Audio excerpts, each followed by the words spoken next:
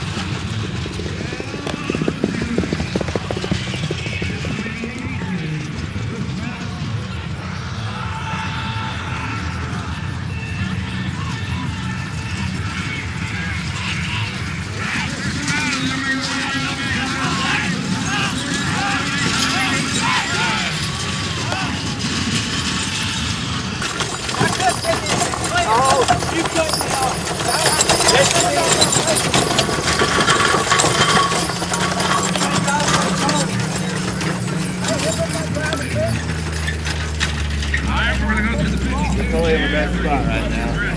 Yeah. Yeah, I noticed that.